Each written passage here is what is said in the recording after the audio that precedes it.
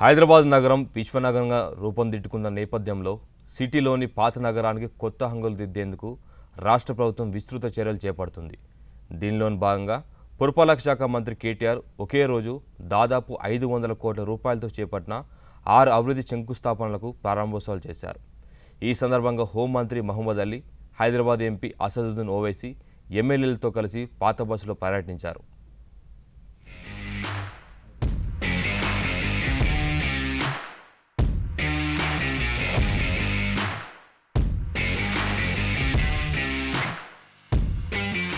హైదరాబాద్ను విశ్వనగరంగా తీర్చిదిద్దటమే లక్ష్యంగా రాష్ట్ర ప్రభుత్వం ముందుకెళ్తుంది.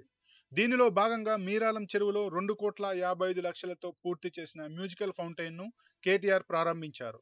ప్రత్యేక ఆకర్షణగా నిలవనున్న ఈ మల్టీమీడియా మ్యూజికల్ ఫౌంటైన్తో పాటు చెరువులో తీగల వంతెన చుట్టూ కాలిబాట సైకిల్ ట్రాక్ పార్కుల అభివృద్ధికి ప్రణాళిక రూపొందించారు. అనంతరం పాతబస్తీ కాలపత్తర్ పోలీస్ స్టేషన్ నూతన భవన్ నిర్మాణానికి హోంమంత్రి మహమూద్ అలీతో కలిసి కేటీఆర్ శంకుస్థాపన చేశారు. ప్రస్తుతం కొనసాగుతున్న పాత భవనంలో ఇరుకుగా ఉండటంతో తీవ్ర ఇబ్బందులు తలెత్తుతున్నాయి. దీంతో పోలీస్ హౌసింగ్ కార్పొరేషన్ ద్వారా కాజాపహాడి వద్ద పదివేల చదరపడుగుల విస్తీర్ణంలో నాలుగు కోట్ల రూపాయల వ్యయంతో మూడు అంతస్తుల్లో ఈ నూతన భవనాన్ని నిర్మిస్తున్నారు.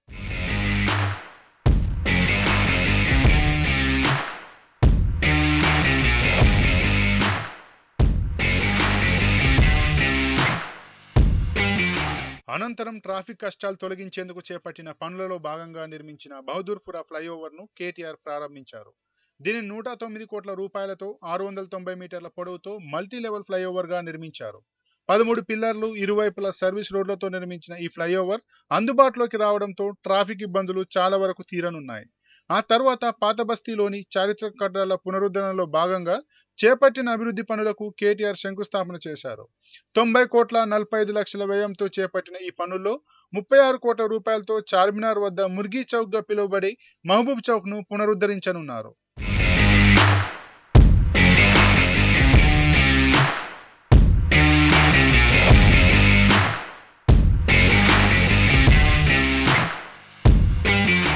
అలాగే ఇరవై ఒకటి కోట్ల తొంభై లక్షల వ్యయంతో చార్మినార్ జోన్లో మీరాలం మండి ఆధునికీకరణ ముప్పై కోట్ల రూపాయలతో చేపట్టే సర్దార్ మహల్ అభివృద్ధి పనులకు ఆయన శంకుస్థాపన చేశారు.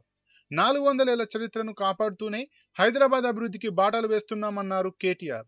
ఏ ఎన్నికలు లేకపోయినా ఒకటే రోజు ఐదు వందల కోట్ల రూపాయలతో హైదరాబాద్ పార్లమెంట్ నియోజకవర్గ పరిధిలో అభివృద్ధి పనులకు పునాది వేశామంటే ఈ ప్రభుత్వ చిత్తశుద్ధి ఏంటో అర్థం చేసుకోవచ్చన్నారు. భాగ్యనగర వారసత్వ సంపదను కాపాడుకుంటూ మరోవైపు పాత బస్తీని కొత్త నగరానికి ధీటుగా తీర్చిదిద్దుతున్నాం. పాత బస్తీలో మౌలిక సదుపాయాలు పెంచేందుకు కృషి చేస్తున్నాం. కులీ దిశ కట్టడానికి పూర్వవైభవం తీసుకొచ్చేలా చర్యలు చేపడుతున్నామని చెప్పారు మంత్రి కేటీఆర్.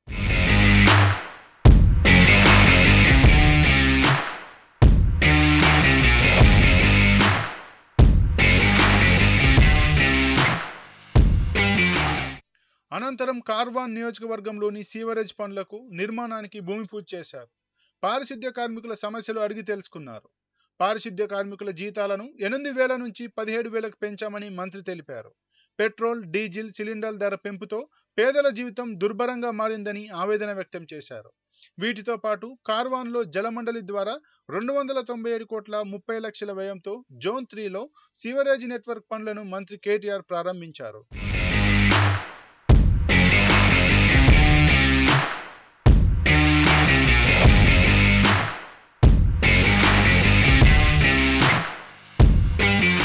పాత బస్తీలో ఒకే రోజు దాదాపు ఐదు వందల కోట్ల రూపాయల అభివృద్ధి పనులను ప్రారంభించడంతో అక్కడి ప్రజలు హర్షం వ్యక్తం చేస్తున్నారు.